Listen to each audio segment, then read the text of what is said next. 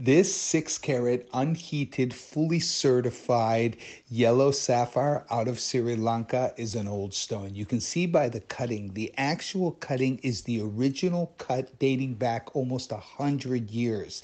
These are the stones that the Maharajas in India used to buy from the southern island of Sri Lanka and bring them up. These particular stones, I've preserved them in their natural form. They have the paperwork, they are unheated, and they are old. I've asked Kat to preserve the original cutting that was done a hundred years ago.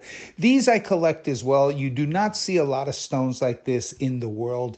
You usually have to buy them from families that have had them for generations, and that's how I get my hands on them. And I always try, and there's just very, very few out there because most of the stones were either sold off earlier, like 50 years ago, or you know, etc. But every once in a while, you run across across somebody who brings you like an heirloom stone, something that's in its original cut, something that is different. And I immediately buy those stones. You know, they were actually cut in a specific way. They didn't really care too much about dispersion and light. They wanted to give it, but they couldn't facet the way we facet now. It's just different.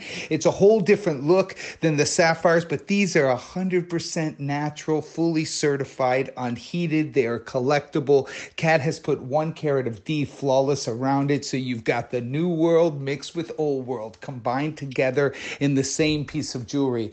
Guys, when I see these, I buy them. When I see them, I also buy them at the right price. So once you see the price that this is selling for, you will see I got this for a crazy low opportunity because I really hunt them down not only for the rarity of the historical value, but I also want to get the best deal because I collect these personally. I give them to Kat every once in a while, and she makes beautiful jewelry, but the price is based off my cost, which is outright ridiculously low.